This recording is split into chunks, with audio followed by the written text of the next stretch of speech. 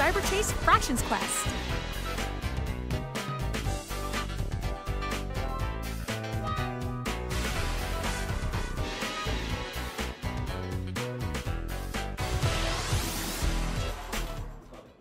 Cyberchase Fractions Quest is an immersive mobile game designed specifically for third and fourth grade students. The game uses a great Cyberchase story and incorporates the latest research on how kids best learn fractions content and skills.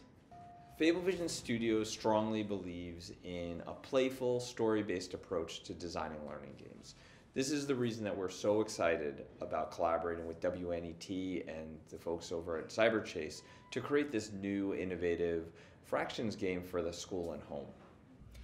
Cyberchase is a long running and popular series that has been impacting millions of diverse children every day for over 15 years. We're looking at fractions uh, as numbers um, that describe both quantity and location.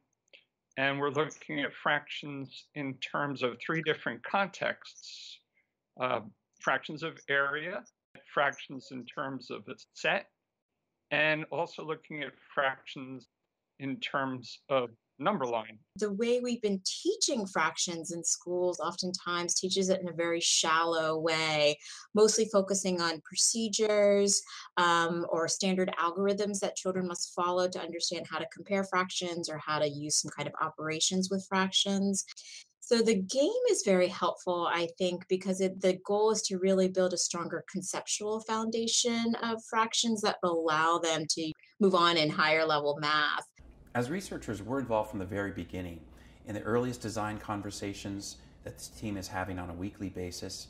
We're feeding back testing results to make sure that the team is on track as far as what kids need and what teachers need. So, one of the things that we realized in our early evaluation with EDC was that students were doing well and making great progress in the game, but some were missing some of the larger conceptual understandings around fractions as part of a whole and around magnitude. So as a result, we added mission training to the game to really give students a grounding in estimation before they enter into the number line game itself. So in our short classroom study of the finished prototype, we found that the class that played the game showed a 13% increase overall in fractions knowledge and skill compared to the class that learned fractions in the business as usual way. When it came to the problems in the specific fractions domain that the prototype focused on, the number line, students in the game class improved 37%. We found this very encouraging evidence of promise for the game. I like that that you put math in it so that people don't have to like do math in books. My favorite part is is about learning and and the fractions and stuff. Our next steps are to expand the game. We're going to be expanding the curriculum. We're going to be adding more game mechanics and more story to really create a comprehensive fractions game. Um, we're also going to be working with distributors and publishers to make sure that this is getting into the hands of children in classrooms and homes.